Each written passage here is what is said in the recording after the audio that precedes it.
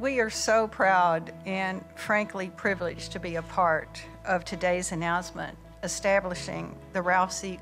Wilson Jr. Center of Excellence in Sports Medicine.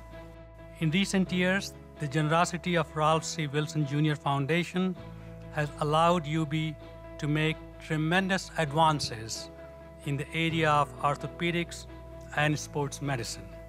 The origin of the Wilson gift was, of course, from Ralph Wilson himself. He simply said, I want to do something for the doctors.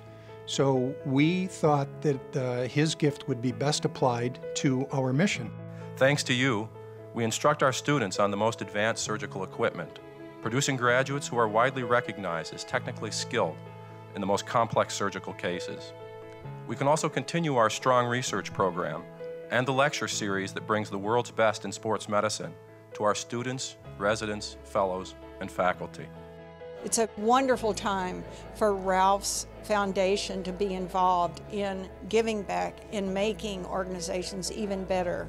These advancements have brought even greater national recognition to UB's sports medicine program.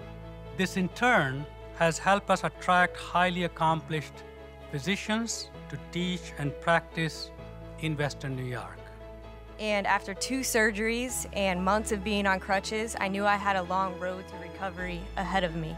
When I returned, I was better. I was faster, quicker, stronger. It's because of these doctors that made that happen. This $4 million grant is a testament to the incredible, groundbreaking work taking place right here in Western New York that has an impact on athletes across the country.